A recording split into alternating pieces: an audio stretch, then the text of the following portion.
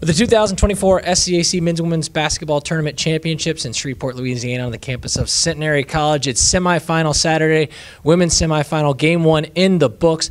Trinity University Tigers advancing to another SCAC Tournament Championship with a 64 54 win over Schreiner University. Head coach Cameron Hill, along with senior Maggie Robbins. And Coach Maggie, first of all, congratulations. Thank you so much.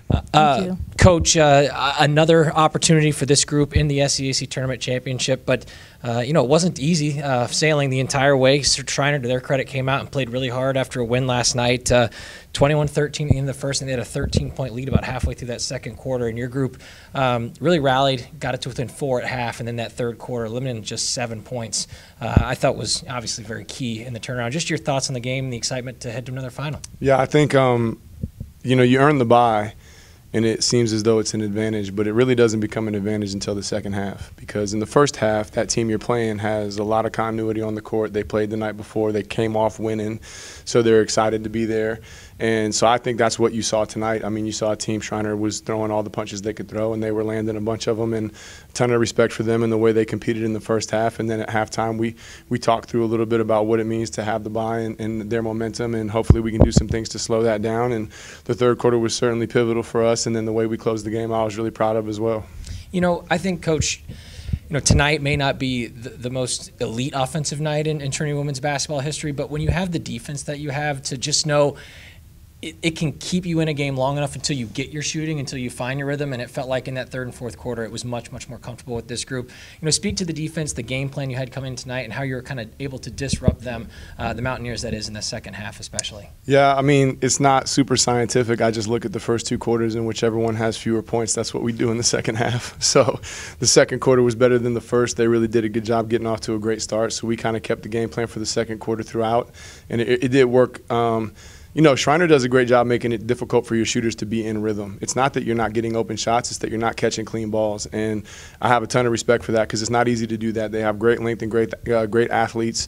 And I think you see that. We're a team that can shoot the ball really well. And, and, for, you know, for the reasons that I just mentioned, it's difficult against Schreiner. But, you know, in the end, we were able to get the buckets when we needed them and we punctured the defense at the right time and got some big offensive rebounds. And it was fun down the stretch to watch them compete. Hey, before we talk to Maggie, obviously, uh, you know, no stranger to the importance that her engine is with this group. Uh, another spectacular 14 points, eight rebounds, five steals, as she does constantly, just sort of filling it up everywhere it needs to be taken care of. Your thoughts on her performance tonight, and and obviously her importance to this group going into tomorrow. Yeah, I don't I don't know if there'll ever be a, a more underappreciated player in the history of the SCAC. Uh, write that down because it's the truth. Um, what she does doesn't always turn up in stat sheets, which makes it hard to vote for her for certain things. But she doesn't care about individual accolades. She just cares about winning, and she's done that better than anybody.